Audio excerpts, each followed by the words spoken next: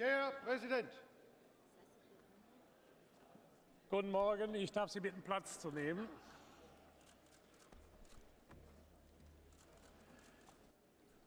Ich eröffne die Sitzung. Als erster Tagesordnungspunkt steht heute auf der Tagesordnung die Aussprache zur Lage der Union. Sehr geehrter Herr Kommissionspräsident Barroso, ich heiße Sie herzlich willkommen. Ich heiße ebenso herzlich willkommen Herrn Außenminister Linkevicius.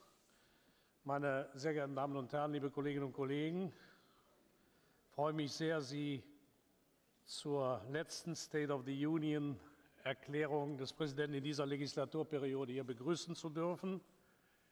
Die State of the Union Debatte zwischen Kommission und Parlament ist sicher ein Schlüsselmoment im politischen Leben der Europäischen Union.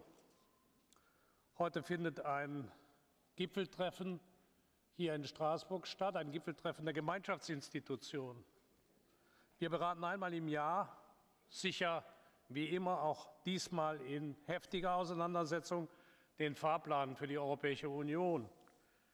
Wir, die Gemeinschaftsinstitutionen, Parlament und Kommission, wir, die Gemeinschaftsinstitutionen, wir beraten transparent und öffentlich. Im Gegensatz zu anderen Organen, die nach Gipfeltreffen zu, Brüssel, zu Gipfeltreffen nach Brüssel reisen, sich manchmal selbst zur europäischen Exekutive erklären oft hinter verschlossenen Türen tagen, tagen wir öffentlich. Und ich glaube, das ist gut, dass die Debatte über die europäischen Angelegenheiten transparent bei offenen Türen und für alle Bürgerinnen und Bürger erkennbar ausgetragen werden. Die Menschen in Europa wollen wissen, wer entscheidet wo, auf welcher Grundlage, warum und mit welchen Argumenten. Und ich glaube, für unsere heutige Debatte muss eines gelten. Der Vertrauensverlust von Menschen in die europäischen Institutionen ist gewaltig. Und deshalb gilt der Grundsatz, Transparenz schafft Vertrauen. Und diese Debatte ist eine transparente Debatte, von der ich hoffe, dass sie Vertrauen in die Funktionsweise und in die Funktionalität der europäischen Demokratie zurückbringt. Sehr geehrte Damen und Herren, Die Kommission und das Parlament haben eine gemeinsame Leitlinie. Mit überwältigender Mehrheit in diesem Hause und sicher einstimmig in der Kommission ist die Gemeinschaftsmethode die Leitlinie des Handelns in der Europäischen Union. Die Gemeinschaftsmethode, das bedeutet, Konflikte durch Dialog und Konsens zu lösen. Anstelle des Rechts des Stärkeren die Solidarität und die Demokratie zu setzen, den Interessenausgleich zwischen kleinen und großen Staaten, zwischen Nord und Süd, Ost und West. Gemeinschaftsmethode, das bedeutet, das Wohl aller über die einzelnen Partikularinteressen zu setzen.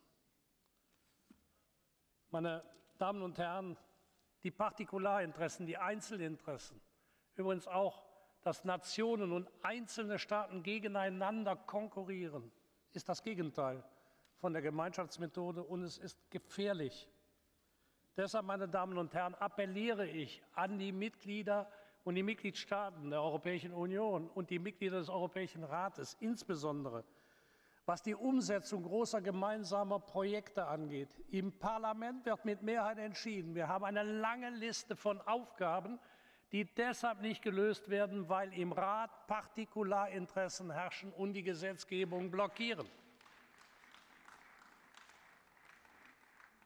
Das gilt insbesondere, meine Damen und Herren, für die Umsetzung der von uns gemeinschaftlich und mit breiter Mehrheit hier beschlossenen finanziellen Vorausschau. Deren Umsetzung in konkretes Recht ist extrem schwierig. Meine Damen und Herren, dieser Sommer war der erste Sommer in fünf Krisenjahren, der relativ ruhig verlaufen ist. Darüber haben wir uns alle gefreut. Es war nicht so, dass jede Woche eine andere Katastrophennachricht über die Ticker lief oder apokalyptische Beschwörungen einer Euro-Dämmerung uns alle verunsichert haben. Und es ist Ruhe an den Finanzmärkten eingekehrt. Das ist sicher eine gute Nachricht. Doch diese Ruhe darf uns nicht täuschen, auch in der heutigen Debatte nicht. Noch immer leiden Millionen Menschen unter den Folgen der Krise. Die Arbeitslosenzahlen sind nach wie vor horrend hoch, die Armut ist dramatisch, die Wirtschaftsentwicklung schleppend, die Kreditklemme nach wie vor nicht behoben. Wir hier nehmen die Sorgen der Menschen sicher ernst. Und wir müssen bis zu den Europawahlen, glaube ich, die nicht gelösten Probleme auch engagiert und mutig anpacken. Ich werde Ihnen morgen früh, ich glaube, das ist eine gute Nachricht, hier vor der Abstimmung vortragen können, dass zwischen uns und der Europäischen Zentralbank nach meinem Dafürhalten zur Bankenunion eine gute Lösung gefunden worden ist. Die Aufsicht und die parlamentarische Kontrolle über die Aufsichtstätigkeit der Zentralbank im Rahmen der Bankenunion ist auch ein Stück Transparenz, von dem ich eben geredet habe. Bürgerinnen und Bürger wollen wissen, was eine Zentralbank, wenn sie Aufsichtsorgan ist, an Rechenschaft gegenüber dem Parlament zu geben hat. Die Jugendgarantie, meine Damen und Herren, muss umgesetzt werden. Das Schlimmste, was es in Europa gibt, ist die Jugendarbeitslosigkeit. Wenn wir jungen Menschen in Europa keine Perspektive geben, wie wollen wir erwarten, dass sie Vertrauen in die Europäische Union haben?